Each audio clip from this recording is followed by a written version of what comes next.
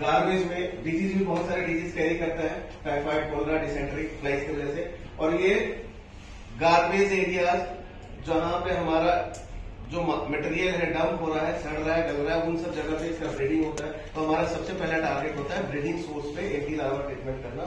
और एडल्ट के लिए आउटर साइड में स्प्रे करना होता है। इन साइड के एरिया में हम कुछ भी नहीं कर सकते हैं ओनली अगर आ गया है तो हमारे लाइट ट्रैप्स लगे रहते हैं, नहीं तो फ्लाई शटर लेके घूमते किसी भी केस में फ्लाइज के लिए इन साइड एरियाज़ में हम स्प्रे नहीं करते हैं, ठीक है?